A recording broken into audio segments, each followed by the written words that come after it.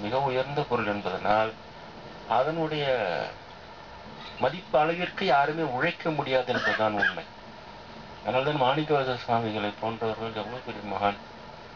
சிவபெருமானோடு அப்படியே ஜோதியோக கலப்பது என்பது உங்களுக்கு எல்லாம் பார்த்தீங்கன்னா அவ்வளவு சாதாரண விஷயம். எவ்வளவு பெரிய விஷயம். இல்லையா? ஆயினா அவர் என்ன சொன்னார்? அவன் அருளாலே அவன் தாள் பணிந்தேன். அவன் மனது வைத்தான் இது நடந்தது. அவ்வளவுதான்.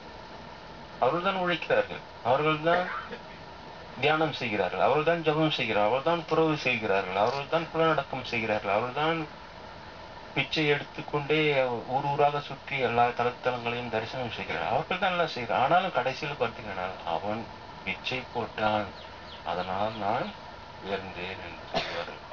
அதான் அவருடைய இயக்கம். அதனால்தான் அடியேன் எடுத்து வந்த பிச்சை தான் எனக்கு தெரிந்த ஆன்மீக உண்மையில் குருநாதரிடம். அவைகளை உங்களுக்கு நான் இலவசமாக கொடுப்பதுதான் சரியானது என்று எனக்கு பெற்றுவிட முடியும். ஏனென்றால் அதன் பொருள் மிக உயர்ந்த பொருள் என்பதனால் அதனுடைய மதிப்பு அளவிற்கு யாருமே உழைக்க முடியாது என்பதுதான் உண்மை.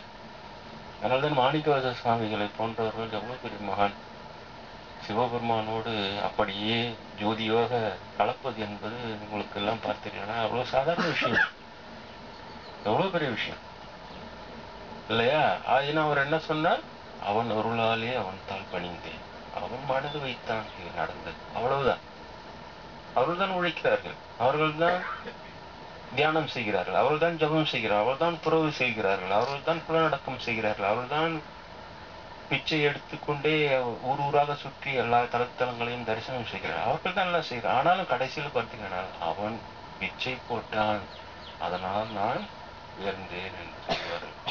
அதான் அவருடைய இயக்கம் அதனால்தான் அடியேன் எடுத்து வந்த பிச்சை தான் எனக்கு தெரிந்த ஆன்மீக உண்மைகள் குருநாதரிடம். அவைகளை உங்களுக்கு நான் இலவசமாக கொடுப்பதுதான் சரியானது என்று